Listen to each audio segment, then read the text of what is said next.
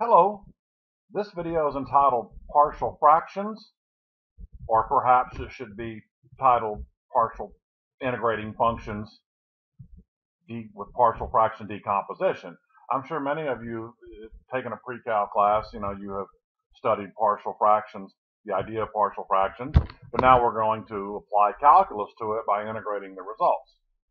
So some of it, if you haven't, that's fine too. I'm going to go over all the basic uh, concepts that we need for partial fractions. But if you have seen it, you know, this should be pretty familiar to you.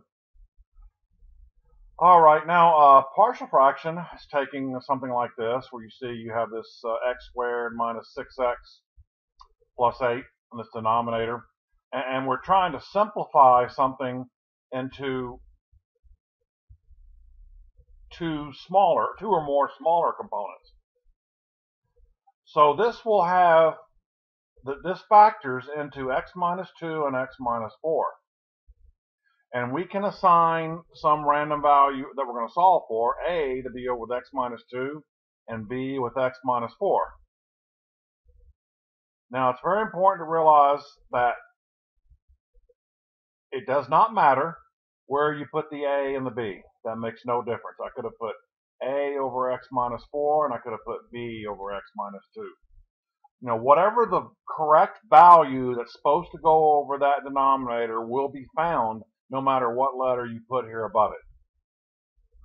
So what you do now after you get this step is multiply everything by the denominator on the left side because that's going to be the least common multiple. Whatever each of these denominators are the factors of that denominator. So every time the first step is always going to be clearing out the left side denominator, which in this case would just leave you a 1 here on top. So when you, so I'm showing you that in this factored form, you're multiplying by both of these factors. So when you get to this one, cancel the x minus 2s, that's going to leave you an x minus 4 with it. Then you come over here, you cancel the x minus 4s, that's going to leave an x minus 2. And then uh, one method, I'm going to show you another method to do this one, to do these problems but that wouldn't be much help for this one. This one's easy enough to do this way. Is pick a value for x that will zero out one of the components here, either no matter what order you're doing in. For example, if I let x equals 2 and I substitute 2 for x in here, b is going to go away because that will produce 0 in the parentheses and that will eliminate variable b, which enables us to solve for a. So I put 2 in there. b goes away. 2 minus 4 is negative 2, A. And then I have 1 on the left side. So 1 equals negative 2A. So A equals negative 1 half. Now I can start over again, and I can let x equal 4 here to get rid of A and solve for B. So if x equals 4, I'll have 4 minus 2 times B will give me 1. That means 2b equals 1, so b would equal 1 half. And that means the partial fraction decomposition for 1 over x squared minus 6x plus 8 would be the same as negative 1 half over x minus 2 plus 1 half over x minus 4. So you see how you've broken that original fraction into smaller fractions. Now the idea for doing this from a calculus standpoint is we are breaking it down into simpler individual integrals. That's the whole idea behind this. So let's say this had been an, an integration problem, like so. We would have broken it down into these two integrals. Obviously, the constants can come outside. And then 1 over x minus 2, the antiderivative is just natural log of the absolute value of x minus 2. And then the absolute value of x minus 4, natural log for this other integral with their coefficients in front, and then of course your plus c. Now this particular textbook I've worked out of before at Larson. Don't don't worry about all this. Don't do this especially, but uh, hypothetically this problem could be done by trig substitution. So, you know, I guess if you're interested in that, I'm not going to go through all the details, but if you want to look at it and uh, uh, see what you think, you know, but uh, it's correct. I didn't I didn't finish the problem though. I just stopped right here. So we would have ended up with a tangent would have cancelled, would have been secant over tangent. Then we would have gone uh, what to sines and cosines probably would have been the next move. 1 over cosine, sine over cosine, 1 over sine, which is cosecant. And the antiderivative of cosecant is the natural log of cosecant plus cotangent. The negative of that, excuse me. It would have produced this, but it would have produced them uh, together in, in, one natural log. Remember log properties work to where, you know, the, the, the two, two log sums can be put together as a product. The log of a fraction is the same thing as subtracting. And anyway, as you know, as I mentioned here, not recommended. Now let's look at the different cases here for uh, decomposition of partial fractions.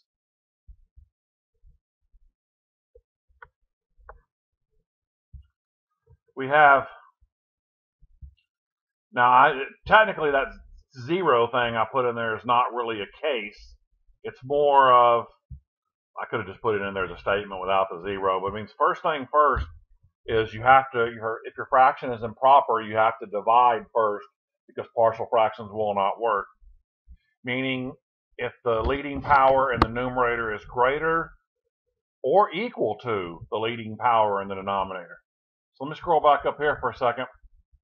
So if this uh, this integral back here, right here, if that would have had an x squared or higher power, not a fractional power, just integer power, x squared or higher in the numerator, I would have had to do long division first before I could have done partial fractions. So I guess technically that's the first step no matter what, even though it's not one of the cases. So we're going to talk about all these in more detail. The, the first case and the easiest case, uh, which was an example of what I just did a minute ago, uh, it's called distinct linear, factors, meaning you, have just different linear factors. The last problem we had was an x minus 2 and an x minus 4. Repeated linear factors would be a, a, the same factor more than once, you know, often just raised to a power. Like if you had x cubed, that's a repeated factor of x. Or like x minus 3 squared, that's a repeated linear factor because it's 2x minus 3s. Quadratic factors, uh, meaning that have no real solution. So that's very important. Uh, you'll see when we get to that, like x squared plus 4 would fall in this cat category. They would be quadratics that have only imaginary solutions, no real numbers. Now, so not all quadratics would satisfy this. For example, if it was x squared minus 4, that would not satisfy this because if you can factor the quadratic, that's what you do. So x squared, and same thing with the one we example we just did in the other page. That did not fit this case because it factored. So if it's factorable, there's no way it fits this case. And then repeated quadratic is a combination of 2 and 3. So let's start off with just distinct linear factors, case 1. Now, sometimes you know you may have to factor your numerator, denominator, obviously. Some, like we did even with the last example, we had to factor, so be prepared for that, but not going to be overly complicated. So it's pretty simple here, x cubed minus 4x, factor out an x, x squared minus 4, factors into x minus 2, x plus 2. So that gives us three linear factors. X, x minus 2, x plus 2. As I mentioned before, regarding this, this has an A, a B, and a C. So since it has another letter, it does not matter. What I said before still applies. You can put any letter, any order of the term, A, B's, and C's, over those denominators. So I could have had, like, for example, A over X plus 2. I could have had B over X. I could have had C over X minus 2. And with, know, with no mistakes being made algebraically, then I would have solved for the uh, correct values A, B, and C, no matter, you know. For example, if, if uh, well, I'll just look down here. I'll show you this in a minute. C is C is supposed to be four. My point being is that that numerator is supposed to be four. Uh, if I'd have called it A, B, A, or B, it still would have worked out to be four. So the first thing we do is we, so every step, the denominator on the left side is gone. All you're left with is the numerator. 5x squared minus 12x minus 12. So that's automatically what's left there. And then see all fractions are gone because we're multiplying by the LCM. Therefore, all these are gone, but now the letters are left with something attached to it. So if you cancel, the x cancels, but you see the other two, x minus 2 and x plus 2, would be left. And then for the uh, b, the x minus 2 would cancel, and it will leave an x and an x plus 2. And then for c, we have an x and an x minus 2. All right. Now here's where I'm going to pick values in. I look at this and go, all right, I have an x here next to that b.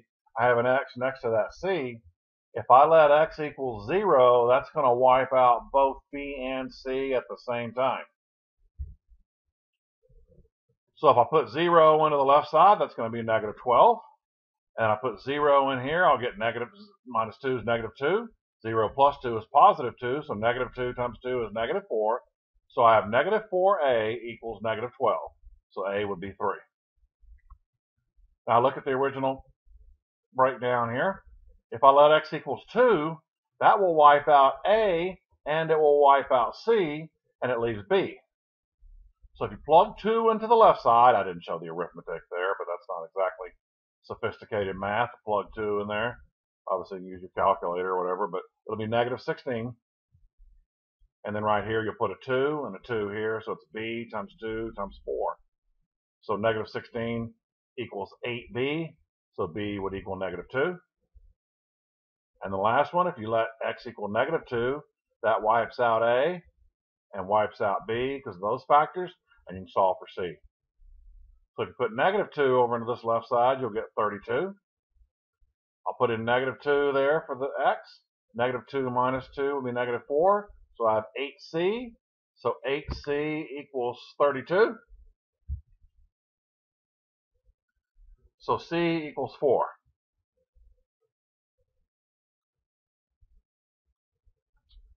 All right. And then there you go. So you have the breakdown. So A is 3, so it goes over x. B is negative 2, so it goes over x minus 2.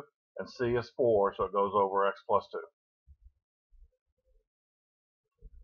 So the integral of this would be the result of those three separate integrals. I just used a Maple software command that did the didn't didn't here's the whole integral right here, but used the, the did the partial fraction decomposition just to show you that my answer was okay. It has a different order, of course, but so just I was matter just mainly using it as a check. So 3 over x will be 3 natural log of x. Negative 2 over x minus 2 will be negative 2 natural log of x minus 2.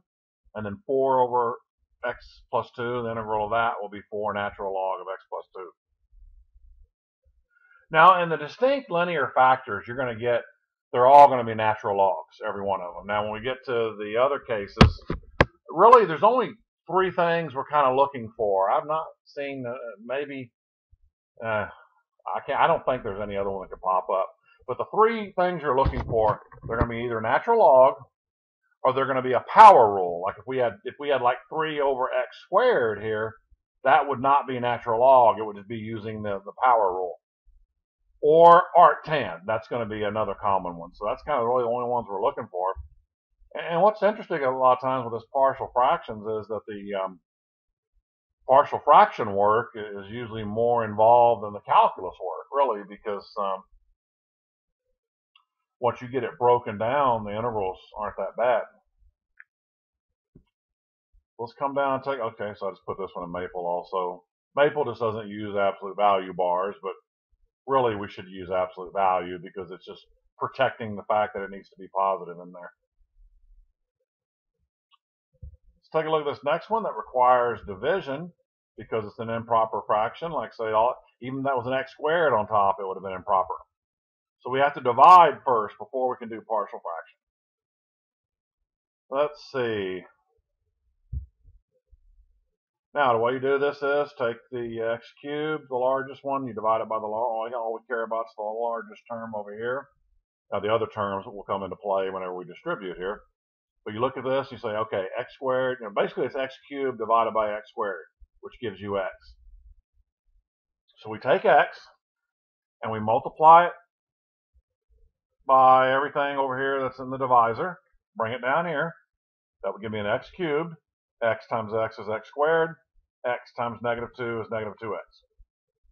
Now, just like if we were doing, you know, whatever, fourth grade, third grade division with just numbers by hand, we would subtract as we were going down here. So this is still subtraction. So it's very important that that first term cancels every time you do this, which it does. And you got to be careful because subtraction, it would have been easy. That's why also I like to put placeholders in there. You know, you see this didn't have a x squared term, but it's good to have every power there because that way things line up. So you put this x squared there, and it looks like it would, but it is negative x squared because it's subtraction. It, it's a lot of times students make a mistake; they would call that positive x squared. But basically, it's zero minus one, which makes negative one. And then you have negative x minus a minus 2x, the same thing as adding. So it's plus x. And now the 11's on top, so 11 minus 0 would just be 11. So now I look at this, I have a negative x squared, I have an x squared. So x squared divided by negative x squared is negative 1. And whenever you have a number up here, that means this is going to be your last division step. And then it's over for division. So you have negative 1 times your divisor. So you have negative x squared and a negative x and then a positive 2. So we subtract again. The negative x squareds cancel like they're supposed to. So we have x minus a minus x, which is adding, so it makes it 2x. And of course, 11 minus 2 is 9. So here's how this fraction breaks down. It breaks into this uh, kind of a quotient part and a remainder part.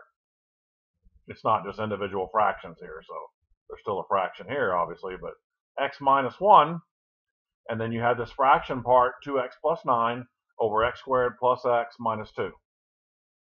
And that's the part we'll use partial fractions on. But we, we will integrate x minus 1 to get the answer, which that's that's kind of super simple. But we, but I'm not totally disregarding it, but I'm just showing this is the only part that we have to do partial fractions on. So it's pretty easy once you get to this part. So I chose it factors into x plus 2 and x minus 1. I could have reversed them. But I had to have a over x plus 2 and b over x minus 1. So we clear out the denominators. That'll leave 2x plus 9. And that will leave me a times x minus 1 plus b times x plus 2.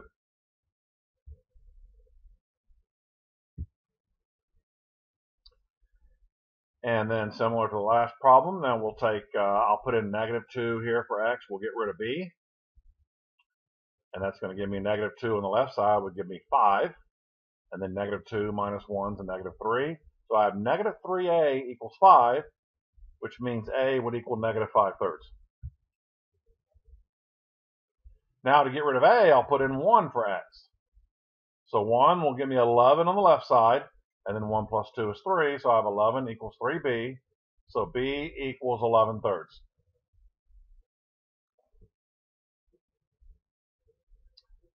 Alrighty, so those are your two, that's your values a and b. So here's what we have to integrate. So we have to integrate that x minus 1 that was still there. Now we have negative 5 thirds over x plus 2, and then 11 thirds over x minus 1. See, those constants don't affect the integral other than the fact that they're part of the answer. That's all. So you just bring them to the outside is fine. But 1 over x plus 2 is going to be natural log of x plus 2 with a negative 5 thirds in front. And then we have 11 thirds natural log of x minus 1 here. And then antiderivative of x is 1 half x squared. And then the antiderivative of negative 1 would be minus x. So that's it. And just for grins, I'll put the answer in maple. That looks like what I got. Very good. Okay, now it gets a little more challenging. That was the easy case. Repeated linear factors. When um, you have a repeated linear factor, including x by itself to raise to a power, you have to put, well, I'll just start with this one. So this one has an x minus 2 cubed, and that's what makes this fall under this case right here, because that factor is raised to a power other than 1, and then x plus 5. You have to use uh, we have to create letters for x. And you can start lower power and go to higher power or higher down like I did. But you have to create letters for x minus 2 cubed, x minus 2 squared, and then x minus 2 to the first.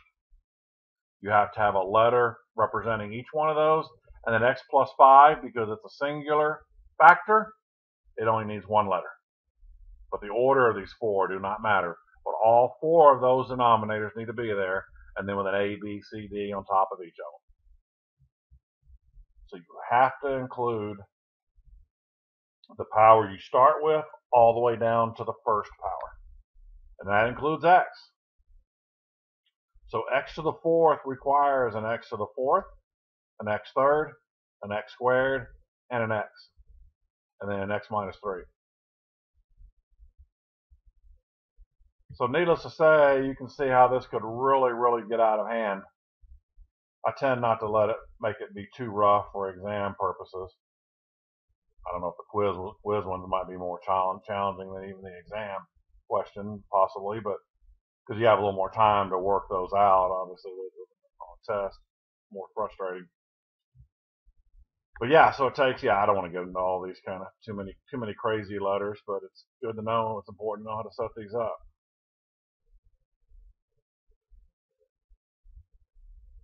Now, one thing I'll mention that it says right here and that didn't apply for either of these two examples.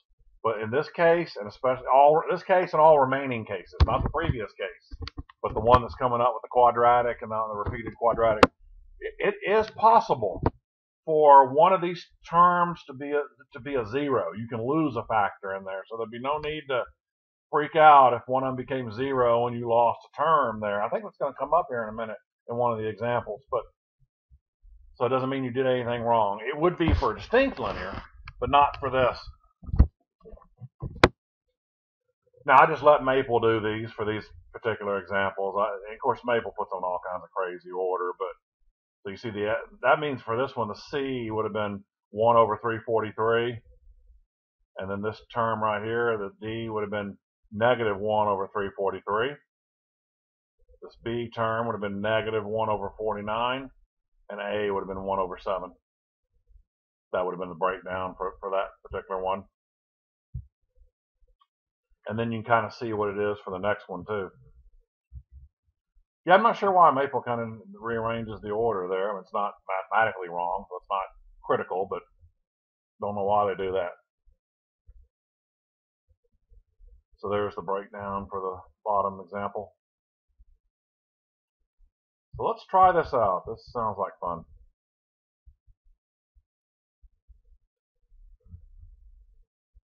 Well, I've sort of already spoiled this one by showing you what the answer is, but it kind of means now we know what we're shooting for when we get get done here. We have something to come back and check it up against. Make sure. All right, this one's definitely not uh, improper. Well, even you know, even if it was the same power, it still wouldn't be improper because theoretically, this even though it's split up like this, this really does have a power of 4 in that denominator, even though they're split apart. Because x cubed times 2x is 2x to the fourth. So even if that had been x cubed on top, this would not have been improper. Now x cubed is going to require an x cubed factor, an x squared factor, an x, and then the, that lone 2x plus 3 by itself any order for the ABCD, but we need all four of those factors, even if we should happen to lose one, which we're not going to lose one. When I say lose one, I mean by one of those letters being zero. We still needed all of them there. So we're clearing out the denominators. And there's the left side is going to be that numerator here. We'd have a 2x plus 3 left. Then for this one, we'd have 1x there, and then 2x plus 3 to get the x cubed. For C, we need an x squared to get to x cubed times 2x plus 3.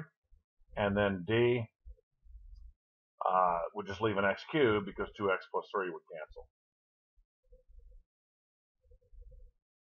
Now here's where it starts getting a little kind of interesting versus the distinct linear. You know, I'm going to show you so that this the, the canceling out of you know picking the numbers and canceling them out usually won't get you all of the, of the factors. You'll still have to do something more to it. In other words, what I'm saying is try to clarify what I just kind of incoherently said by putting a number in there and showing you. So if I put zero in there, that clearly gets rid of B, C, and D. You'll leave A. So you got one on the left side, and you put zero in here, gives you three. So 3A equals one. That means A equals one third. Now negative three halves will wipe out 2x plus three. So it wipes out A, B, and C. Negative three halves on the left side is seven fourths. You can obviously use a calculator to plug that in there. And then I put in negative 3 halves over here to the d, so you have this. So 7 fourths equals negative 27 over 8d. Flip the fraction over and multiply. So d is negative 14 over 27. Now here's where it's interesting. We need b and c, but if you look, there, there's no one to get b, there's no one value that would wipe out a, c, and d at the same time you know, you can take out two out of three, but you can't get them all wiped out at, at the same time. Same thing with C. You can't get rid of A, B, and D all at the same time. So here's there's one way to do this. I'm going to create a, a pair, a system of equations with two variable, two unknown, and then I can use either substitution or elimination. I usually just use elimination, but if you like substitution, whatever makes you happy. So what I do now is I'm going to uh, choose two different numbers for x. One of them where I create you know an equation with b's and c's, and then another one I can create with b's and c's. You choose any letters you want except for those value for the letters x. Excuse me. You choose any value for x except the two that we've already used. Use zero. We can't use zero and negative three one half. That would kind of take us back. You know, we really wouldn't accomplish anything. Now, I don't know. I just pick values. I like to use zero, but obviously zero has been used. It's easy to plug in. So I just picked one, kind of an easy number to work with. I picked negative one for the bottom one, but you know, if you picked one and two, for example, that would be fine. You can do that if you want to use a negative number. I just picked one and negative one.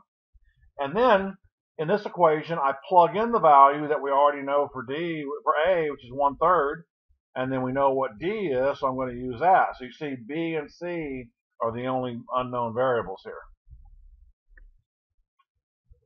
So I put in one, I get three on the left side, then put in one and all this business here with A, and I combined, so I took the two fractions here and combined, moved them over the other side and got 50 over 27 equals 5B plus 5C.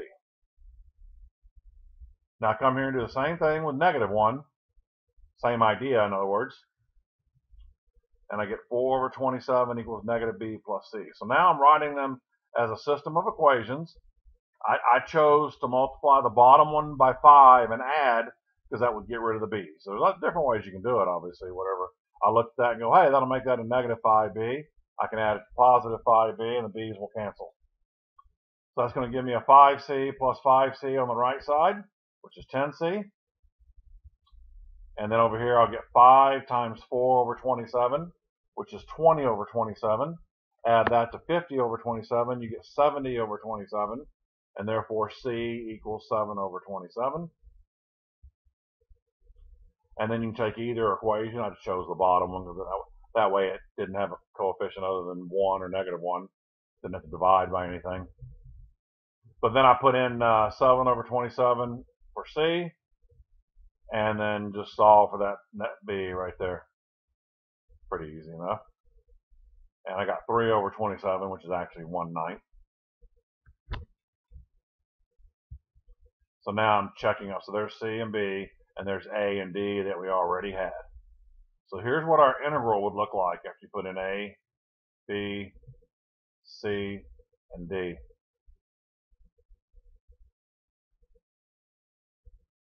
Now you have to be careful on D. You know, I was kind of taking the natural log for granted, which was right earlier, but let's say, you know, if it's natural log of x plus 3 or natural log of x minus 4 or something like that, you know, if u is x plus 3 or if u is x minus 4, du would just be dx, so you wouldn't have to really adjust anything.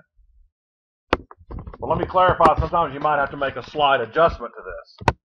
So the actual integral for this one would not just be natural log of 2x plus 3, because you'd have to let u equal 2x plus 3 which causes du to equal 2x, which causes a 1 half to be in there. I sort of took that for granted. It, we were right before, but I just didn't mention it until now. That's because all those du's were just dx. They didn't have a 2 here or anything, or any other number. So I have to accommodate for that 1 half.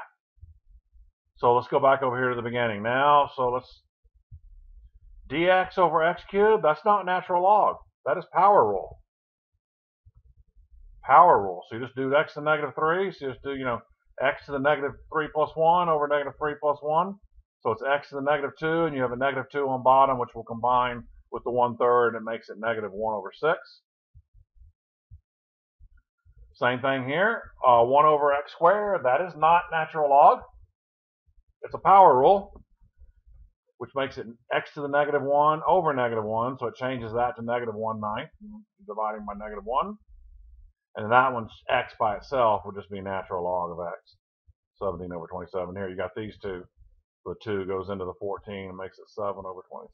So, all right. So you see we had two power rules and two natural logs, but we did have a du that we had to contend with there for that natural log.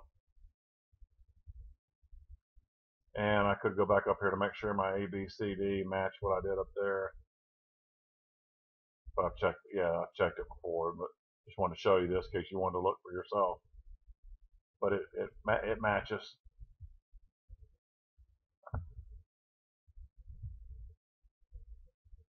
Now I'll let Maple do the entire integral here. And that matches what we have, uh, just in different order. Yeah, I don't mind negative exponents personally with answers with negative exponents. But if you're looking at a multiple choice question, it would probably give you uh, drop, just like Maple did, it would probably would drop those down to the bottom.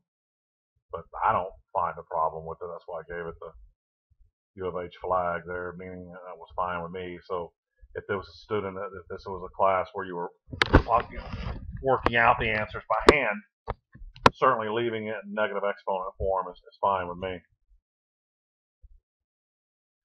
Now I'm going to show you another way to do the partial fraction decomposition. You can choose whatever you like. There really isn't a good rule to say which works better under what circumstances. I usually just kind of look at it and see what I think would work best.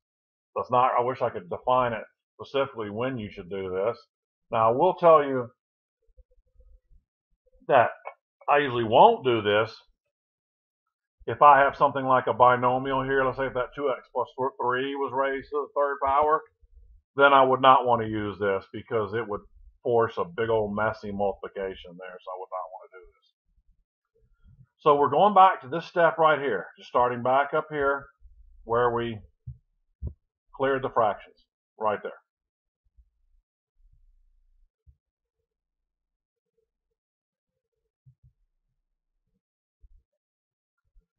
So what we do is we distribute out everything on the right side. So we're not picking values and plugging them in. We're, we're uh, sticking them out plugging. Uh, the, yeah, we're not. So just distributing it through here. So we have, yeah, so A goes through here, makes 2AX plus 3A. Distribute BX here, you get 2BX squared plus 3bx. Distribute here, you get 2cx cubed plus 3cx squared, and you have dx cubed here.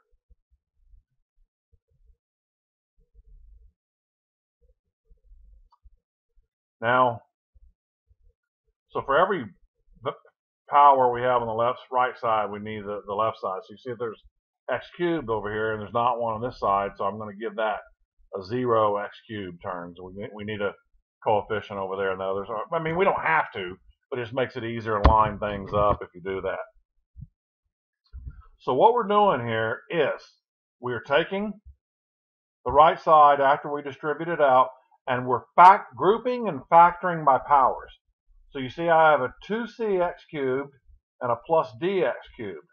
That means I can um, factor out an x cubed and then I would have 2c plus d. So just basic, you know, greatest common factor idea. 2c plus d times x cubed.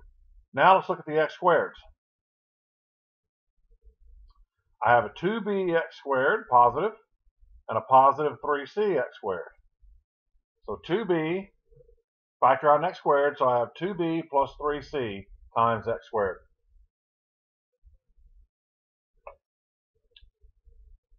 x's. I have a 2ax and a 3bx. So I factor out the x. I have 2a plus 3b times x. Then I look for any non-x terms. I only have one. Sometimes I have more than one, but only a 3a by itself. So here's what we do. Here's, here's how you think about this. So we're trying to match the powers from the right side to the left side. So if 2c plus d times x cubed needs to equal 0x cubed, that means 2c plus d has to equal that 0. So you're setting what you know what you've got factored out there in against 0. So same thing for this one. I have 2b plus 3c x squared equals 1x squared. So therefore 2b plus 3c would have to equal 1. Next one, if 2a plus 3bx equals x, that makes that one a coefficient of 1. It's just coincidences, these are all 1s. That means 2a plus 3b would equal that coefficient 1 right there. And then the constant says we only have 1, 3a, so that has to equal 1.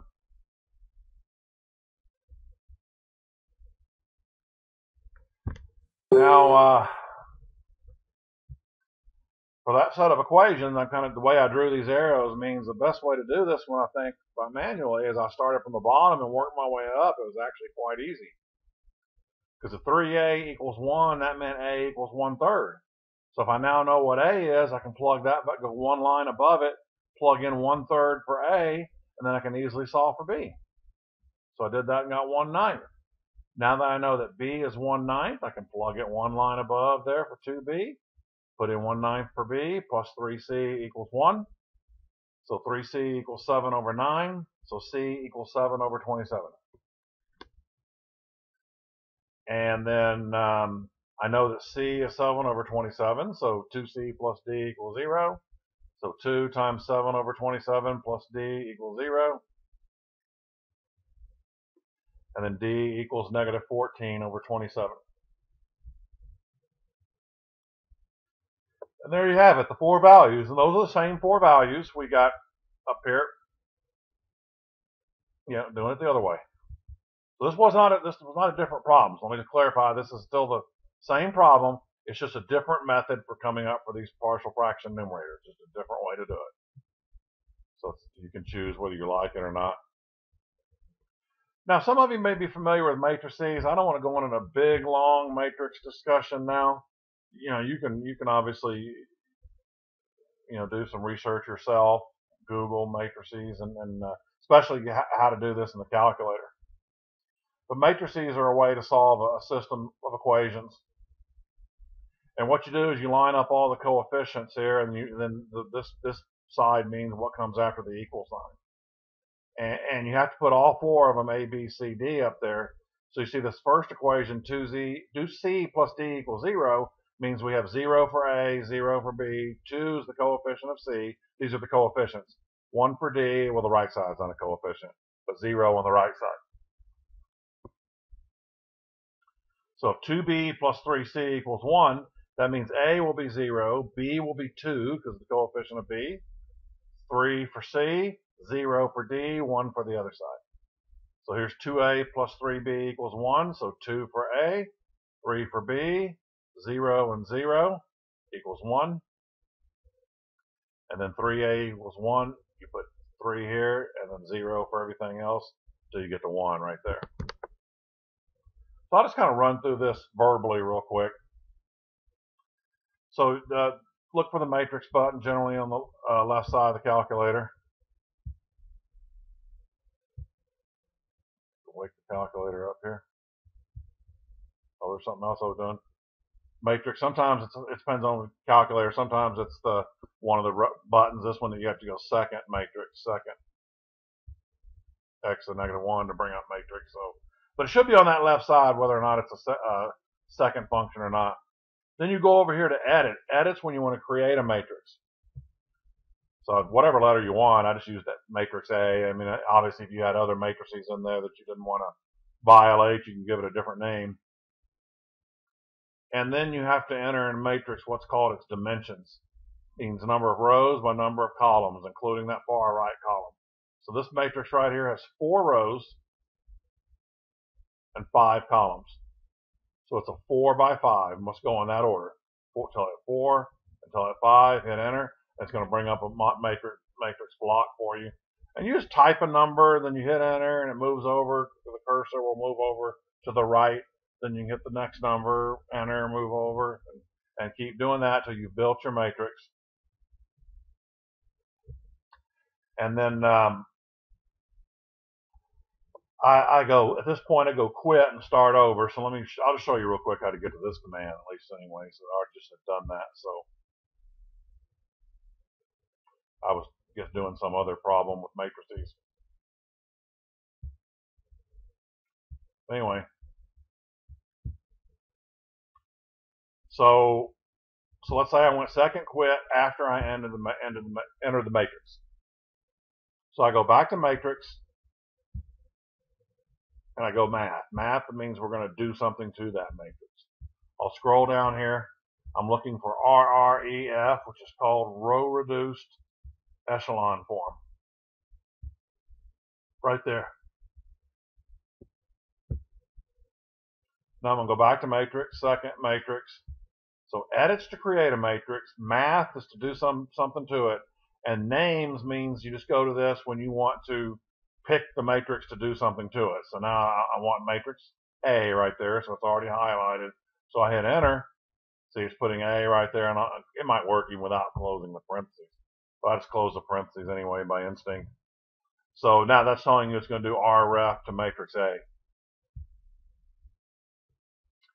That means that far right column is going to be the answers for each variable in order. So this means that for this one, A equals 0, B equals 5, and C equals 2. In that order. So in this case,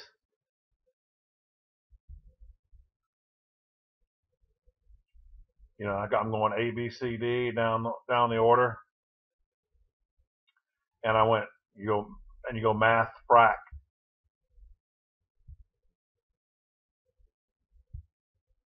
Math frac will turn those decimals into fractions. That wouldn't apply here because our numbers were already integers. So, but anyway, math frac enter. And that far right column right here, that is giving you all the values uh, for A, B, C, D going downward in that order. It's basically saying that, okay, 1A equals 1 third, 1B equals 1 over 9, 1C equals 7 over 27, and 1D is negative 14 over 27. So you can certainly use matrices if you want to.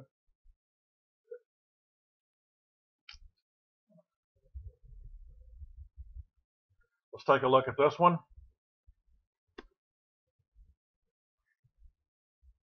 Fixed problem already had the answer there. I don't think something you should have to worry about for tests or anything like that. Maybe on a quiz it, it, this is happening, but I can explain when I get to the answer how this happened. But what they did is they used log properties to take two individual logs and combine them together as uh, one single log. I, I, don't think that that's that, that important to have to do, but that's what they did here. But I guess it, you know, it certainly doesn't hurt to know how to do it, though. I think so. It's a good skill to have. So I've got a repeated linear.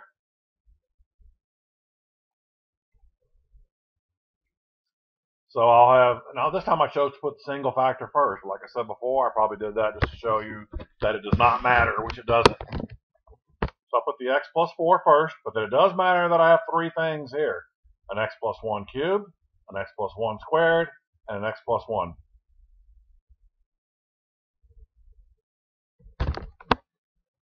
So I have four terms. All right, so nothing too fancy here, so I'm not going to explain it. We, we multiply by the LCM to clear out the denominator. I'm kind of doing similar to the last one. I'm going to solve for two of the variables and then create a system of equations for the other two. So if you let x equals negative 4, that's a good one because it'll wipe out b, c, and d, and you solve for a.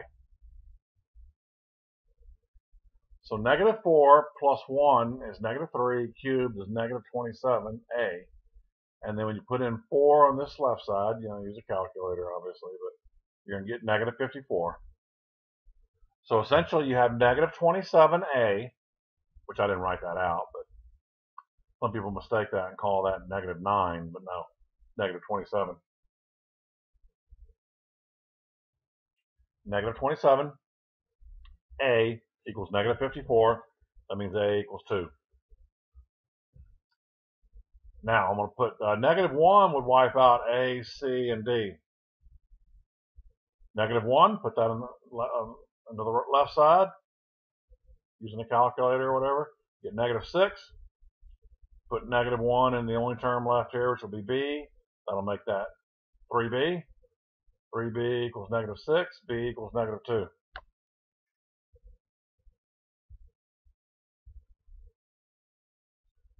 And now here's where I'm just picking values. So this, unlike the other problem I did where we had to use zero, this one I'm using zero just because, especially on the left side, it's a simple number to plug into that left side. You get 14.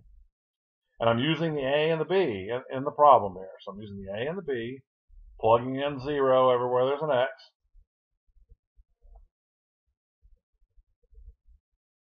Get 14 on the left side, play around with this, you get 20 equals 4C plus 4D. Uh, now, I didn't write this out, but I'll just say it verbally now. I, you could have left it like that. You didn't have to do what I did here, but I just looked at it and saw immediately that everything divided by 4. So I just basically divided the whole thing by 4. So you could still use the 20 equals 4c plus 4d, but I, I reduced it to 5 equals c plus d. And the next x, I just chose 1, but you could have chosen anything you want.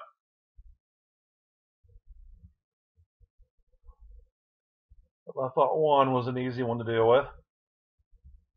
You plug one in everywhere there's an X on the left and the right. We get 86 equals um, 2 times 8 plus negative 2 times 5 plus C times 5 times 2 plus D times 5 times 4. So when you take these two numbers, give you 6, move it over, subtract, gives you 80. 80 equals 10c plus 12d. I immediately saw that that reduced by 10, so I rewrote as 8 equals c plus 2d. So like I said, if you didn't reduce either of those equations, you can still solve it, no problem. So I have 5 equals c plus d, 8 equals c plus 2d. And then I, if I multiply the top one, and once again, there's more than one way to do this step. But if I multiply the top one by negative 1, I can add together and that'll kill the c's. So negative 1 times 5 plus 8 is 3. c's are gone. Negative d plus 2d is just d. So d equals 3. So therefore, c plus 3 equals 5. c is going to be 2.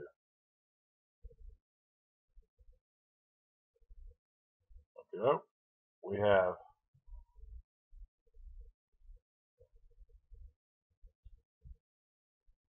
to integrate it.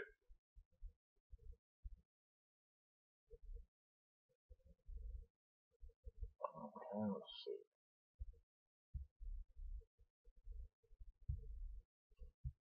Where's my spot here?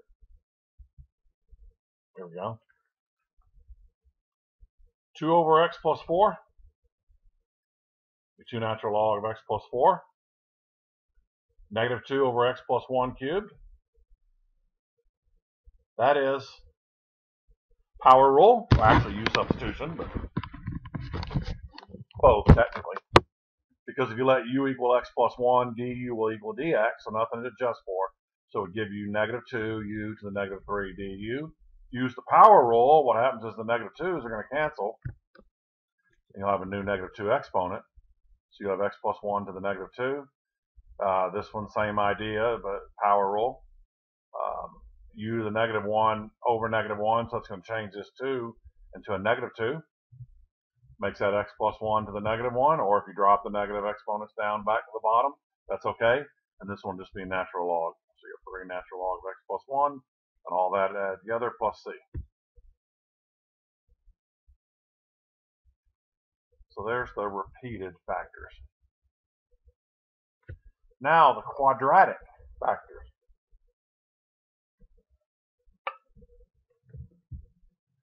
Essentially, you know, I wrote this over here, um, not just because they're all plus, but if something is factorable, it does not fit this category. But remember something in um, algebra called the discriminant part of the quadratic equation, you know, ax squared plus bx plus c, a part that goes under the square root in the quadratic formula.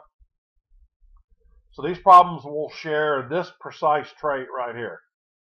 So if you're not sure, you look at them, but like I said, it might be factorable, so check for that first. But if you're pretty sure you think it's not factorable, look for this, because it'll probably be this. Yeah, for example, let's say if it was x squared plus 5x plus 6. That would not fit this criteria. Because that would just factor into x plus 2 and x plus 3. So anyway, if the, if the discriminant b squared minus 4ac from these right values right here, that's less than 0, that falls into this category. Now, this seems a little weird how you, how you do this, but you just got to kind of get used to it. So this is the way to do it. You have to, when you have one of those terms, you have to use either like ax plus b or bx plus c or cx plus d in the numerator. In other words, based on where you are at the current, you know, lettering of your decomposition. So um, for this one, if I put the x first, I would give that an A on top of it. Now the x squared plus x plus 4, that does fit this criteria. Check the discriminant. But anyway, if I've already used letter A, then that means I have to go BX plus C. You always have to go something X plus something. In other words, what I'm saying is if I had to put the x squared plus x plus 4 first, I would have had ax plus b, and then c would have been over the x. So that's what we're saying there. Now, I didn't work this one out, but I let Maple do it. We are going to work our own out here now, but I let Maple do it. But once again, let me mention that it's not uncommon. Doesn't mean it's going to happen. Not uncommon, especially with those ones that have two terms. If one of them turned into zero, that's fine. But guess what? If they don't turn into zero, you're going to have to split these up into two separate integrals. If they both, if they're both have real numbers, that's what would have had to have happened with this one. I would have to split it up into two pieces to integrate it.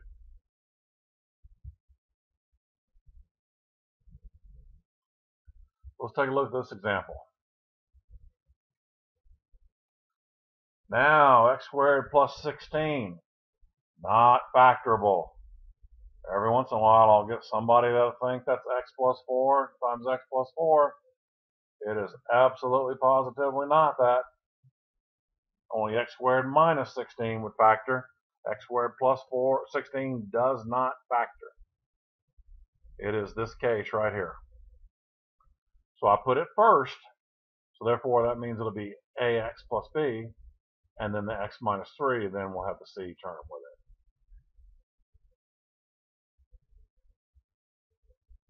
Now,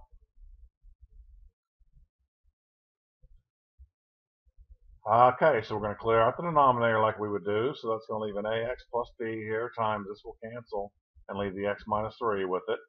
And here, this x minus 3 would cancel and leave the x squared plus 16. Now, I'm not sure why I did this. But I went with that alternative method. Maybe it was to, to show you because really, I mean, just mention this verbally. So if you want to try to, let me, let me scroll down here. Maybe I, I've already, okay, yeah, yeah, did okay. I did the other way. I just did the other method first. I still did the original, I call the original method. So, yeah. Now I don't have to worry about saying that till we get down there. So I had to FOIL these two together, like so, and then just distribute C through here. And then, like I said, just you group, did before you group them ax squared plus cx squared.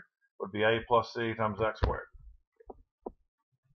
I have a minus 3ax and a plus a bx would be minus 3a plus b times x. And I have two constant terms here, a minus 3b plus 16c. So that means a plus c x squared equals 2x squared. That means a plus c would have to equal 2.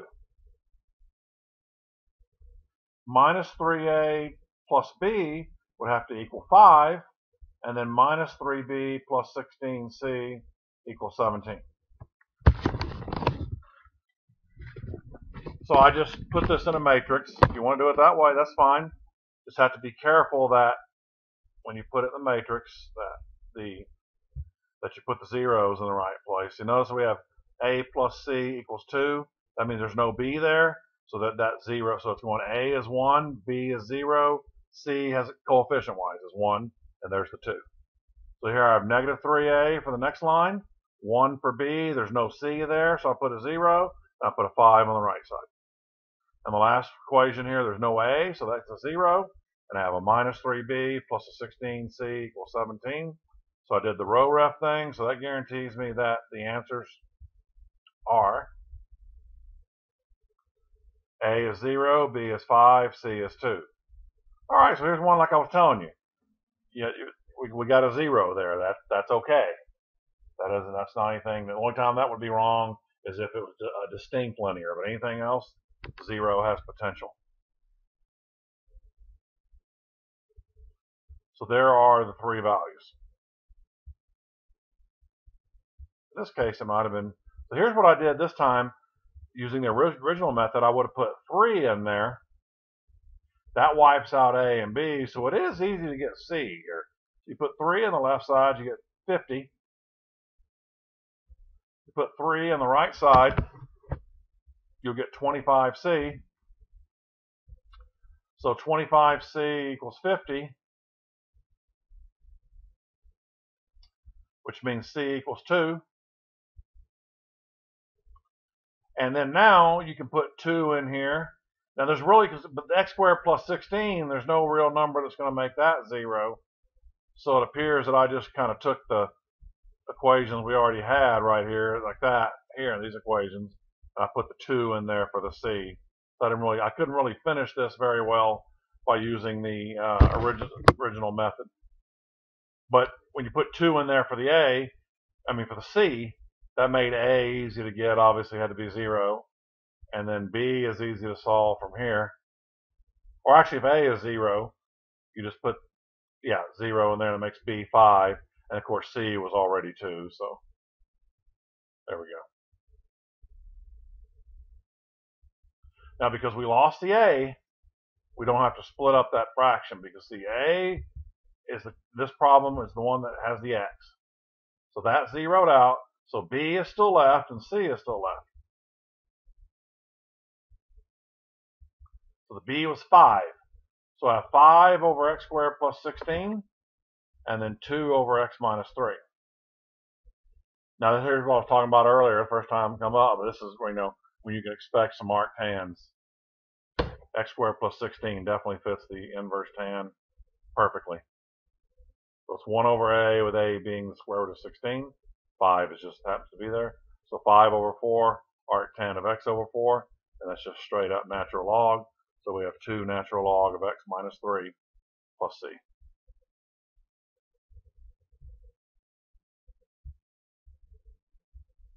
So maybe we'll get, yeah, the next one we'll get to where they one of them won't cancel to 0 and we'll have to split it up. So that'll, that'll be a good example. But this one we did, you know, we lost part of that numerator because A was 0.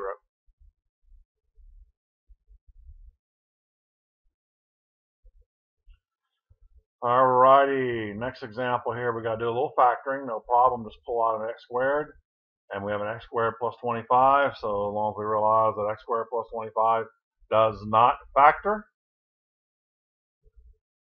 stop right there. x squared minus 25 we would have factored that into x minus 5, x plus 5. So I just chose this order. I started with the x squared, so I put a over x squared, and then it goes down to x, so that's repeated linear. So now we're combining a repeated linear with a quadratic. So it's a over x squared, b over x, and then we automatically, you start, so once you get the quadratic part, you start with the next letter, put it with x, plus the next letter. So if that was b, that means this becomes cx plus d. I know it seems weird, but that's the correct way to do it. Clear out the denominators. I'm left with this equation right here. So I distributed and got ax squared plus 25a plus bx cubed plus 25bx plus cx cubed plus dx squared. So now you see we have x cubes and x squareds on that right side. That's that's not uncommon for this to happen. We've already done this one other time. It's not uncommon to put have to put zero terms out in front here. That's not too weird. So I group them, and I have b plus c times x cubed from here and here. So there's no x cubed, so that means b plus c would be 0. And now I have an ax squared and a dx squared, so a plus dx squared would be a plus d equals 0. Very good. There's a 0 over here. And now for x, we just have one x term, 25bx. So 25b will equal the 2 right there, that coefficient right here.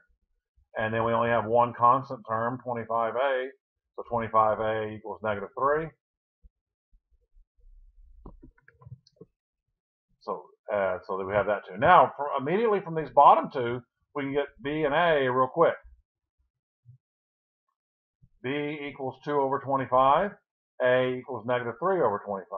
Then once we have those, it's real easy to plug in A and B right here to get C and D, which because they're both being added together to get zero, that just means C and D are going to be the opposite of B and A. Negative 2 over 25 and then positive 3 over 25. Now we come down here and integrate. And let's see what we have. So once again, those constants that we got for A, B, C, and D, we just have to, you know, leave them alone and just, you know, count them as part of our answer. They don't really affect the integration process at all. Just make sure they're included with your answer. And so we have a dx over x squared. And a dx over x. x over x squared plus 25 and a 1 over x squared plus 25. That's that's because you know, yeah, I pulled out those coefficients. Yeah, I pulled them out. You know, you could have written them first, but I was just trying to save some time there. Now we have a, a, a power rule for the first one. x to the negative 2, so you just do the power rule, so that gives you x to the negative 1 over negative 1. Now x to the first power is natural log, now this one's also going to be natural log, but not for the same reasons that we had gotten the other natural log. Is because if you let u equal x squared plus 25, du will be 2x dx. So that means you got a 1 half du. So that means this integral, um, ignoring the minus 2 over 25 for a second, obviously I included it right here, but it's the integral is just 1 half du over u, which is natural log. So that one turned into natural log right here. So you see there's the 1 half from there, and then of course the negative 2 over 25, which is there from the partial fraction coefficient. And then the last one, when you have a number on top and then x squared plus something, that is always arctan. So you just follow the arctan formula. And it looks like, see, I, I didn't bother to rewrite. I, I want to write it separately so in case students in class, and especially whatever, ask me a question. They were, why'd you say 125? You know, that I want them to see the 1 over 5 from here. But I didn't feel like writing a whole line to call that 125. But so, yeah, Maple multiplied those two numbers together. So there it is.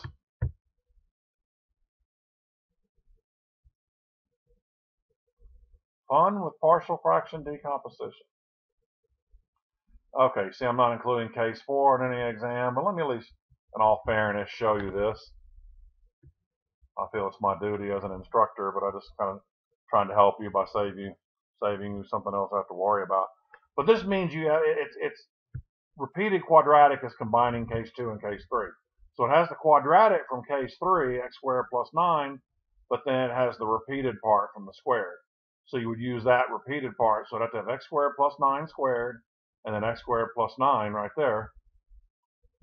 And then look at the numerators, because they both have that quadratic.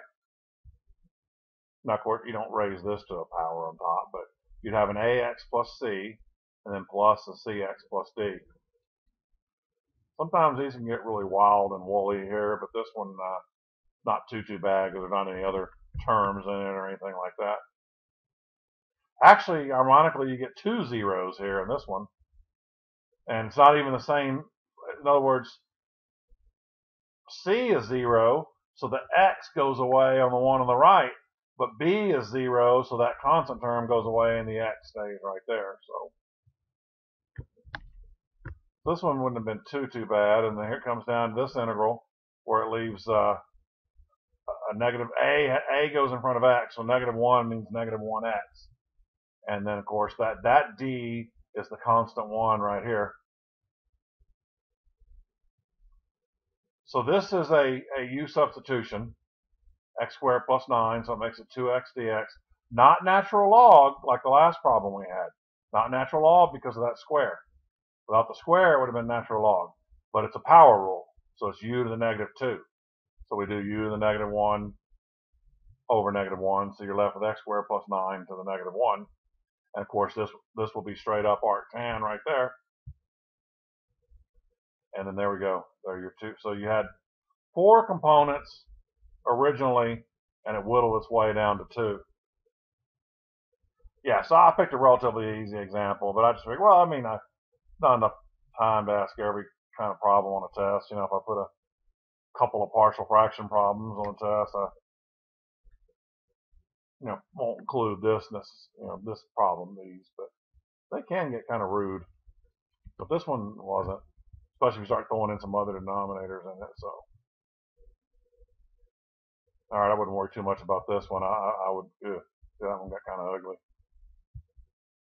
Now these, uh, my, I've rearranged my notes a little bit, my lecture notes, because I find I've had so many, so many examples of my notes, and even in class, it's hard to get through all of them. I guess I just kept expanding over the years, and hey, let's add a new problem. But for the purposes of this video, I, am not going to do all these. But this is not saying I'm uh, omitting this idea. You know, I'm not saying omitted from test. I'm just omitting video due to the, basically the, the length of well, the problem itself, kind of, but more the length of the video more than anything else.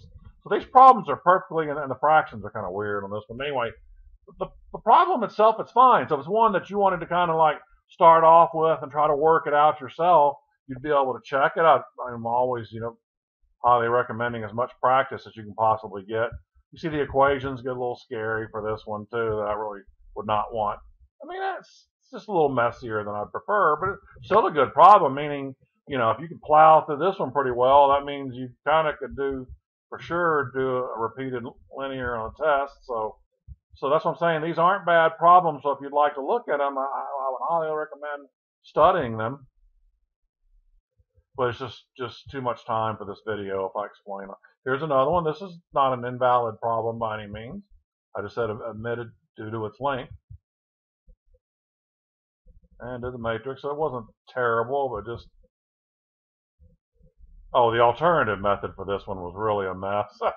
I, if you do, if you try that problem yourself, I wouldn't do this. Well, I mean, I don't know unless you want to, but this gets a little messy in there. That multiplication is a little messy. Oh, went too far. But I, I'm kind of want to just show these problems of someone that's, you know, if they're not a student of mine, they're looking at these, they can at least look at these pages and pause them, you know, and take a picture of them, whatever, and if they try to work these out themselves. But these will still these will, will still remain in my class notes. So if you're one of my students, it will it will be in the notes. Okay, so we scroll down here. Another one I just kind of did because of time purposes, but it would be an excellent practice for you and then there we go. So that's why I kind of this section of notes just was way too long.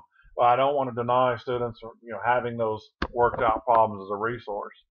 I just didn't want this video to go on for another hour or so. So, with that being said, that concludes this video on partial fractions, or maybe more accurate, accurately, integration by partial fractions.